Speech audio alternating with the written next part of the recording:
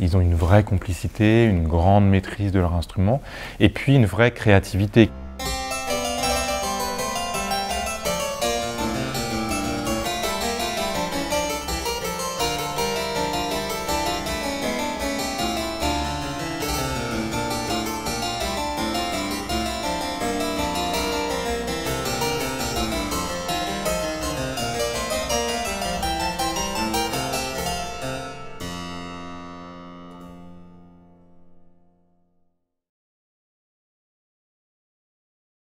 Je pense que former un ensemble de musique baroque euh, au XXIe siècle, c'est quand même un défi puisqu'il y en a euh, déjà eu beaucoup d'ensembles. Il y a des ensembles euh, qui ont été créés il y a 10, 20, 30 ans qui sont encore en activité.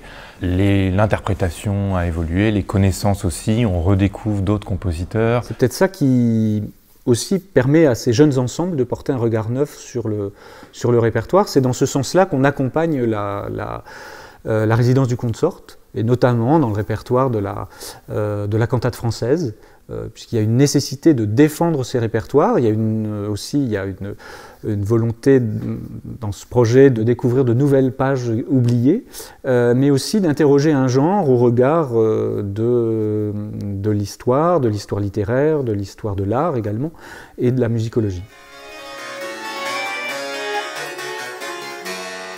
Notre euh, passion, c'est voilà, un peu de recréer cette euh, musique euh, des 17 et 18e siècles. Ben, en fait, la meilleure façon de le faire, c'est un peu de, le faire comme il le faisait à l'époque, c'est-à-dire donc en, naviguant entre le répertoire soliste, pour moi en, 1, le répertoire avec basse continue, donc la musique de chambre. Parce que c'est une musique qui nous touche, c'est une musique qu'on aime beaucoup. Aussi, on aime beaucoup la sonorité des instruments anciens sur lesquels on joue. C'est des cordes en boyau qui nous parlent, qui ont une sonorité chaleureuse.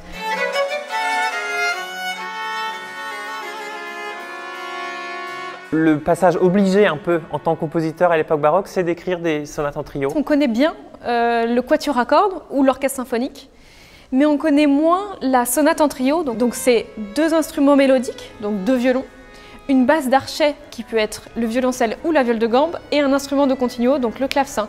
Et c'était la formation qui était la plus employée à l'époque baroque. Aujourd'hui, de jeunes musiciens, à la sortie de leurs études euh, supérieures, peuvent se spécialiser dans ces, répertoires et aujourd'hui porter un regard peut-être euh, croisé, accentuer ce, croisement entre euh, eh bien oui, la, relecture de, de, euh, de, la musique, mais aussi au regard du dialogue avec la recherche musicologique. Ce que les, les, musicologues, mais aussi les historiens, historiens d'art, peuvent apporter à la relecture de, la musique baroque.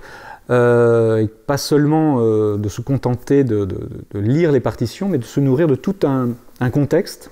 Alors on adore travailler avec des musicologues parce que ça permet vraiment de remettre en contexte les œuvres que l'on joue. Souvent ces musicologues sélectionnent des anecdotes, des phrases et nous aident à aller plus loin, que ce soit dans la mise en contexte ou aussi dans l'interprétation. Enfin, c'est très enrichissant pour nous.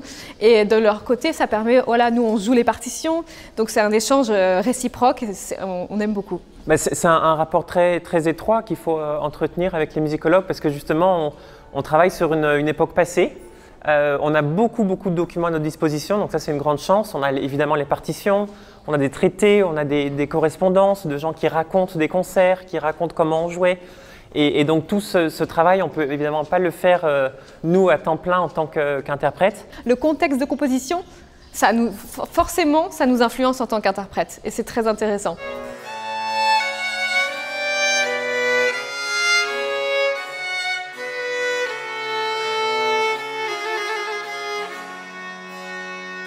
Je crois qu'ils ont une capacité surtout à transmettre leur passion au public, même dans des œuvres qu'ils redécouvrent.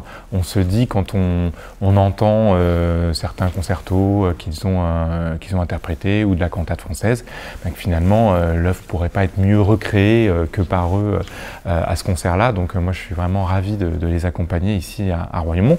Et donc on, on essaye de développer des, des programmes originaux, d'être toujours dans une, démarche de recherche, de, voilà, de trouver du nouveau répertoire, essayer de toujours savoir comment, dans quel contexte c'était interprété, et puis de présenter au public d'aujourd'hui en même temps des œuvres qu'ils peuvent connaître, qui peuvent les rassurer avec des grands compositeurs. Donc on joue Rameau, on joue Purcell, on joue Bach, Vivaldi. et aussi présenter des compositeurs moins connus. Euh, parce que dans, l'entourage de tous ces compositeurs, il y a encore des, œuvres inédites, et donc on aime bien voilà, mélanger les deux pour à la fois euh, rassurer, entre guillemets, faire venir le public, et puis lui permettre de découvrir toujours des nouvelles pièces.